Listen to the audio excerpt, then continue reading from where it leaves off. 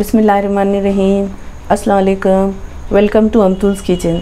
आज मैं बताने जा रही हूँ आपको मटन के पकोड़े। आप चिकन के पकोड़े खाए होंगे। एक बार मटन के बना के देखिए, ये भी बहुत टेस्टी बनते। इसके लिए मैं मटन ली 200 ग्राम। उसको थोड़ी सी वन फोर्थ हल्दी वन फोर्थ अदरक लहसुन और हाफ़ टी स्पून नमक डाल के बॉईल कर ली।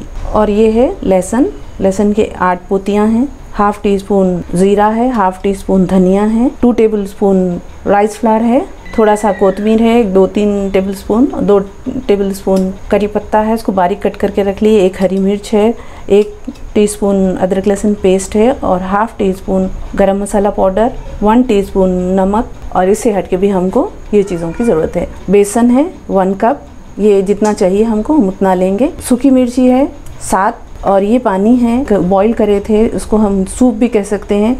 वो है, जब मैं ग्राइंड करूँगी तो उसमें ये इस्तेमाल करूँगी और बेसन को इसके साथ जब भिगा के हम पकोड़े बनाएँगे तो तो भी हम ये पानी इस्तेमाल करेंगे। अब हम क्या करेंगे? ये जो सूखी मिर्ची है, ये धनिया, ज़ीरा, लहसुन, ये तमाम चीज़ों को मिला के इसका पेस्ट बना लेंगे। तो चलिए पेस्ट बना के बताती हूँ मैं आपको।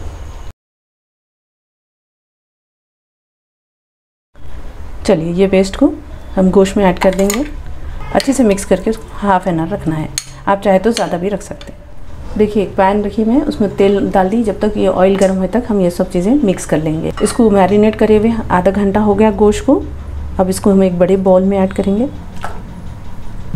में ये गरम मसाला है, वो डालेंगे। नमक, अदरक, लहसुन, हरी मिर्च, कड़ी पत्ता, धनिया और मैं आपको हल्दी बना, बताना भूल गई थी। थोड़ी सी हल्दी डालेंगे। एक वन फोर टी थोड़ा सा चावल का आटा टू टेबल स्पून ली मैं। बेसन डालेंगे। अब इसको अच्छे से मिक्स करते जाएँगे। अब इसकी कंसिस्टेंसी हमको जैसे चाहिए, उतना रखेंगे हम। अब देखिए, बेसन की थोड़ी और ज़रूरत है हमको, थोड़ा और बेसन ऐड करेंगे। उसको हमको जितने भी गोश्त की बोटियाँ हैं, उसको कोट करना है हमको। वन कप ली थी मैं थ्री फोर्थ कप इसको बस हो जाएगा। देखिए, इतना सा बचा के रख दे रही हूँ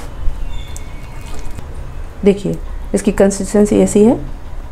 थोड़ा सा इसको कोट हुआ हुआ है, बस इतना ही हमको पतला रखना है। तो चलिए ऑयल गर्म हो गया, हम इसको एक एक करके डालेंगे। देखिए, थोड़ी देर के बाद इसको हमको पलटा के चेक करना है। देखिए, थोड़ा सा light brownish colour golden brown आ गया कलर देखिए, इसका गोल्डन कलर आ गया। अब इसको हम निकाल लेंगे। देखिए, अंदर से सॉफ्ट रहेंगे ये, ऊपर से थोड़े क्रिस्पी रहेंगे, क्योंकि हम चावल का आटा ऐड करें। अगर आप चावल, ज़्यादा क्रिस्पीनेस नहीं चाहिए आपको तो चावल का आटा स्किप कर दीजिए। इसी तरह से हम दूसरा बैच भी डाल के फ्राई कर लेंगे। देखिए, गोश्त के पकौड़े रेडी हो गए। एक बार बना कर देखिए और मुझे कमेंट सेक्शन में बताइए कि कैसे लगी। अब बकरीद आ रही बकरीद के लिए ये बनाई हूँ मैं। आप ज़रूर बना के ट्राई करिए, अपना ख्याल रखिए, खुश रहिए, दुआओं में याद रखिए। अल्लाह हाफिज़।